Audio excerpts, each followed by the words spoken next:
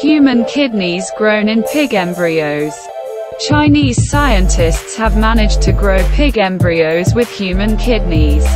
This is a big step towards solving the shortage of organs for transplantation. Research on human-animal hybrids has a long history. Although they may seem to be some kind of abomination, they're aimed at the good of science and medicine. These types of chimeras, as in biology are organisms created from genetically different cells from two or more individuals, are created to grow human organs for transplantation.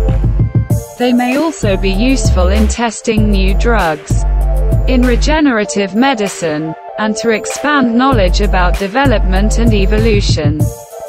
In new research, scientists from the Guangzhou Institute of Biomedicine and Health managed to create embryos containing a combination of human and pig cells. After being transferred into female pigs, the embryos began to develop kidneys containing human cells, meaning that the scientists had successfully grown a human organ inside another animal. The description and results of the research were published in the journal, Cell Stem Cell. The researchers focused on the kidneys because they are one of the first organs to develop in the embryo. Additionally, they are the most frequently transplanted organ in humans. Rat organs have already been produced in mice, and mouse organs have been grown in rats. But previous attempts to grow human organs in pigs have failed.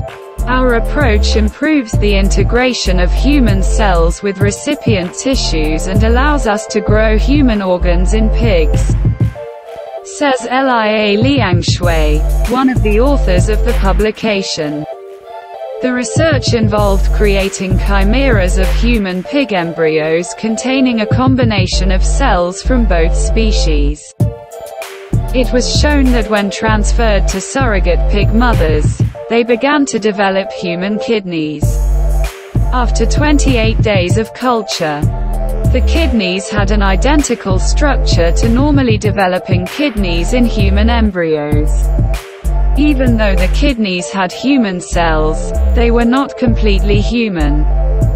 They contained vascular systems and nerves made mainly of pig cells, which means they would not be suitable for transplantation.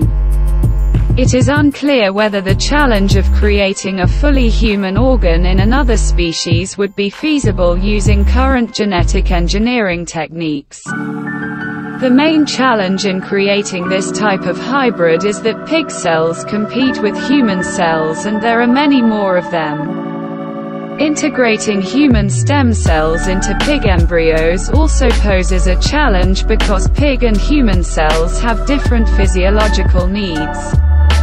We have been working on mechanisms to overcome the extremely low effectiveness of interspecies chimeras. We have identified several key factors that help create interspecies chimeras by facilitating cellular competition, says Guangjun. To overcome these obstacles, the team used the CRISPR-Cas9 gene editing technique to create a special niche in the pig embryo. All this so that human cells do not have to compete with pig cells. Two genes responsible for kidney development were removed from a pig embryo. Then, specially prepared human pluripotent stem cells were added to the embryo. These are cells that have the potential to differentiate into many, but not all, cell types. These cells have been conditioned to make them more capable of integration and less likely to self-destruct by temporarily stopping apoptosis. Then, scientists transformed these cells into the so-called naive state resembling early human embryonic cells. Before chimera embryos were implanted into pig surrogate mothers. They were grown in test tubes containing substances that nourish human and pig cells. In total, researchers transferred 1,820 embryos to 13 surrogate mothers. Pregnancy was terminated after 25 and 28 days to assess the effectiveness of the experiment. The researchers took five embryos for analysis, two developing for 25 days and three for 28 days, and found that they had structurally normal kidneys for that stage of development. They even formed tubules and cell buds that would eventually become the ureters connecting the kidney to the bladder. Since organs are not made up of just one cell line. To get an organ where everything comes from humans, we would probably have to engineer pigs in a much more complex way, which also brings additional challenges, says senior study author Miguel A. Esteban of Institutes of Biomedicine and Health in Guangzhou. The team also investigated whether human cells implanted in the embryo contribute to the construction of other tissues, which could have ethical implications, especially if human cells were detected in the tissues. The researchers showed that human cells were located mainly in the kidneys while the rest of the embryo consisted mainly of pig cells.